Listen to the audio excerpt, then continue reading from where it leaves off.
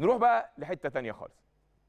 الناس اللي الماتش اللي فات ادت حكمها على مستر ريكاردو سواريش ادت حكمها على مستر ريكاردو من أول مباراة. هو الراجل لسه جاي أول امبارح. يعني جاي من يومين مش المقصود أول امبارح بس هو جاي من يومين. كان واقف على الخط.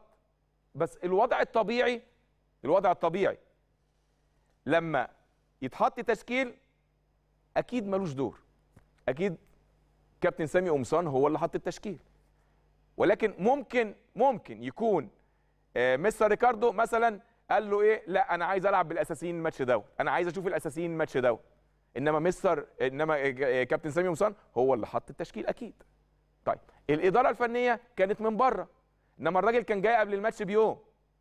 فتحمله مثلا الأداء بتاع الفريق وتقول إن هو مسؤول إحنا عارفين إن في بعض الفترات كان الأداء ما كانش كويس ماتش بتروجيت.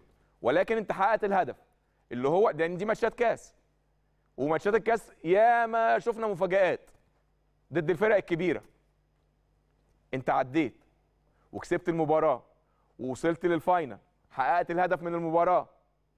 الأداء تحكم على الراجل في الماتش ده تحكم على الراجل في الماتش ده عشان أداء الفريق ما كانش قد كده. مين اللي قال كده؟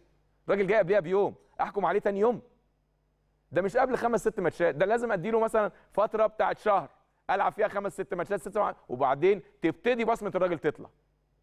مش تدريب ومباراة وتقول لي آه، ده الراجل آه، يعني الماتش بصراحة خرج نص نص وكان فيه سلبيات كتير الراجل ده شكله راجل إيه؟ مين مين عنده عقل يقول كده؟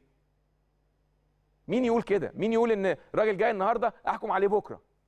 هو ده منطق.